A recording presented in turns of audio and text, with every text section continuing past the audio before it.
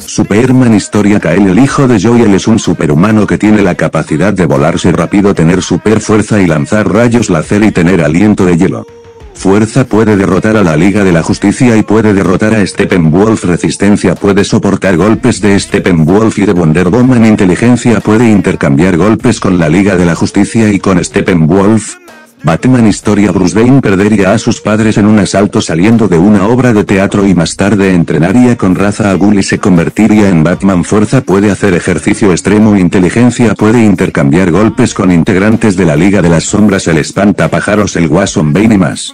Resistencia puede resistir golpes de más integrantes de la pandilla del Guasón o de los integrantes de la pandilla de Bane y de la Liga de las Sombras en fuerza el ganador sería Superman ya que él ha podido levantar enemigos y Batman como máximo pudo hacer ejercicio extremo en inteligencia el ganador sería Batman ya que él sabe pelear más que Superman.